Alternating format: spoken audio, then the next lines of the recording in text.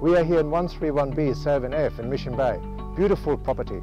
Come with me upstairs and we have a look.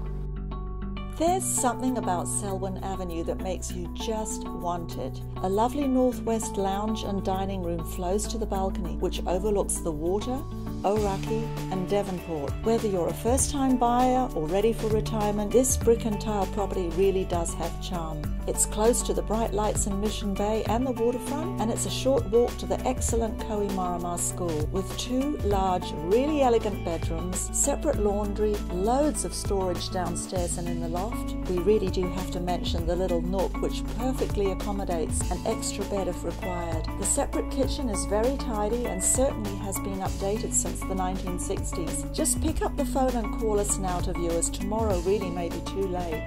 Uh, we like you to come to the open home to come and have a look at this and see how you like it. I'm sure you will adore it. We have got open homes Saturdays and Sundays. And if this doesn't suit you, please just call us and uh, we can make a private viewing for you. Thank you very much for watching and uh, we hope we see you here. Take care. Bye-bye. Bye.